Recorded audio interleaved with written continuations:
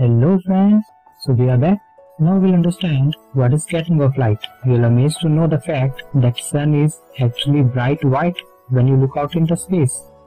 But you'll think about how the sun looks yellow, white or orange sometimes and why the sun uh, sky is blue. Of course, answer is scattering. But how this scattering happens or how it works? Let us understand. We all are familiar with Vibgyor.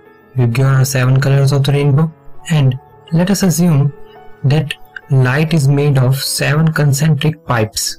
As we know, light is made of seven colors, but outermost pipe is violet and innermost is red. So assuming it as this, let us assume further that everything is made of three colors, blue, yellow and red. So let us shorten it and tell that light is made of three color light. Outermost is blue, then yellow and red. Just three colors to make it simpler. Earth has its atmosphere, atmospheric layers, ozone layer, troposphere, stratosphere, many layers. These layers work as a dense material or dense medium as space is very much rare medium so when something enters from the rarer to denser medium, it feels some friction. Have you seen any asteroid falling from the space? Its layers, outermost layers, shreds off. So just like an asteroid from space enters the Earth's surface and it shreds off, let's assume light also sheds off the same way. The outermost layer that is blue that we have, we have assumed shreds off and it just spreads all over the space around the earth layer and make a sky blue surrounding. The inner layer of those three concentric pipes that is yellow that reaches out us and we see sun as yellow.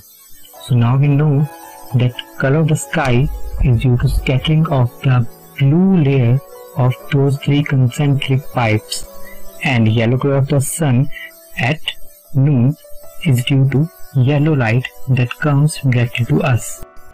I've given an example of asteroid which falls from the space in Earth's atmosphere.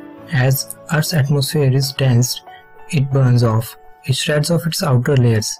The more it has to travel in the dense medium, more layers would shed away. Similarly, out of three layers, outermost layer that is blue shreds at the noon when it has to travel less distance due to its normal. But at the evening or early morning, it has to travel more distance because it is at acute angle. So as the light has to travel more, it will shred off its more layers. So first of all blue layer shuts off, then yellow layer also shuts off. Hence now the red color sun appears to us. Now you know why sun in early morning and late evening looks red.